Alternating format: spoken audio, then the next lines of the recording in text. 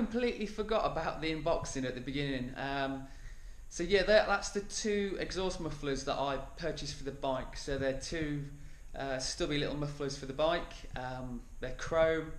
Um, they're pretty slimline. They look pretty good on the bike. It matches other bits of chrome on the bike. Um, there is a bit of an issue with them. Um, they've got a bit of play or, or slop, so the bore on the, on on them is a little bit larger than the actual stock exhaust system. So I've had to create a bit of an insert just to take that play out. Um, in fact, we'll get into that now. We'll go straight into that.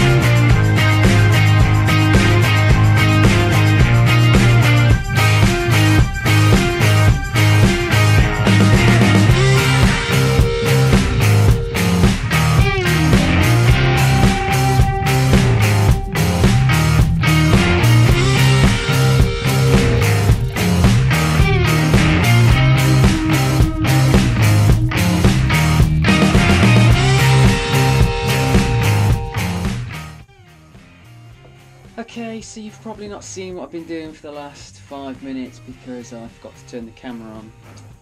Yeah, I'm still getting used to this. Anyhow, what I've been doing is filing the edge. I don't know if you can see this. I've been filing the, the edge of this nut down so it's going to fit inside the exhaust tube. So I'm about to weld it into place so it will just have a better surface to seal to.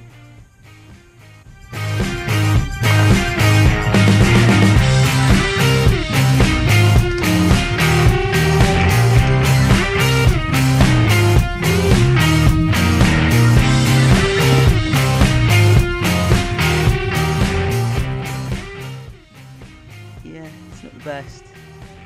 I'm still very new to welding, but it'll do the job.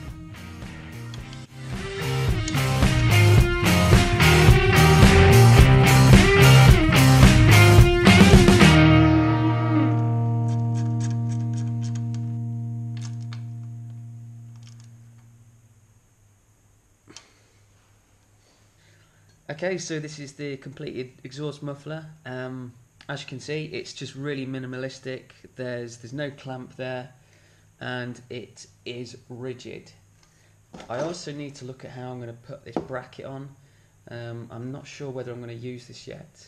Um, so originally I was planning to bolt it to the back of this prototype kind of rear set that I've got planned. Um, but I just think this bracket looks too big and bulky. Maybe I don't know. Maybe a thinner one. Um, I'm not sure. Uh, but also, another thing I, I thought I could do is the centre stand brackets. Now I haven't cut them off the frame. I've left them there because possibly in the future, um, I don't know. I, I may want to service the bike or something so I can just fit it and and play around with it. Um, I could do something with those brackets, maybe a clamp under here um, on the exhaust section, and just tie it to that bracket somehow. It'll just keep it nice and tidy um, and hidden away. Um, as I said earlier, I don't like brackets, and I don't like, yeah, I just think it looks nasty. So the wraps on the exhaust system, I'm going to apologise because I don't have any footage for that. Um, I did these wraps way before I started doing doing these videos, so yeah, I do apologise. Uh, but I'm going to lead you through the process of how it was done, and um, there's there's plenty of other videos online that will show you how how the wrapping process is. But I'm just going to lead you through how, how I did it on this on this build. So because the YP sections are now welded to the two header sections, I've got one one system to play with. Um, took it out to the shed, put the system in the vise, and then I dropped the titanium wraps in a bucket of water. Um, there's there's plenty of stuff online telling you to wrap these dry, wrap these wet, but in in my opinion, wrap them wet, you get a you get a tighter wrap. Um, so yeah, I, would go with that, and it also keeps like the fibres down as well because you know they're they're horrendous, they're itchy, they're horrible it stops you breathing it in. So yeah, I'd, I'd go with that every time. Um, so yeah, the first first section of the exhaust I did was to wrap uh, the YP section. Uh, I kept that taut with some copper wire.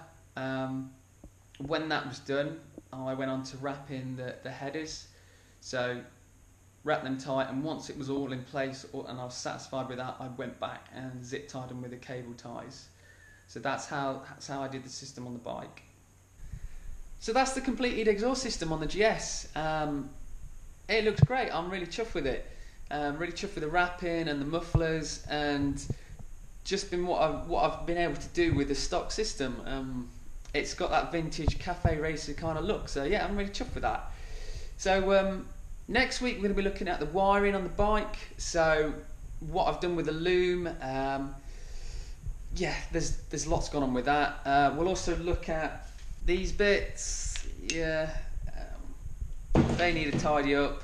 I'm not sure what I'm going to do with them yet. I'm pretty sure I'm going to get a new system for it. But yeah, join me next week. We'll have a look in that.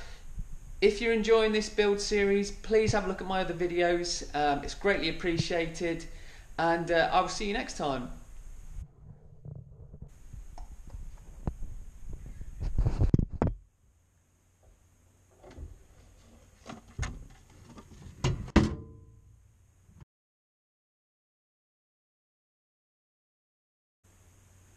Welcome to the Suzuki.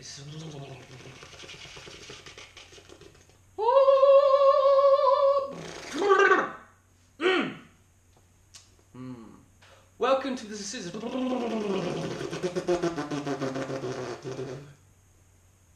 Welcome to the Suzuki GS750 build.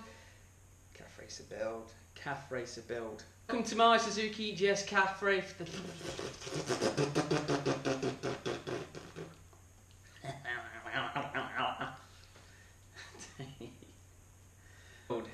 Suzuki GS750 cafe racer build. Let's slow it down.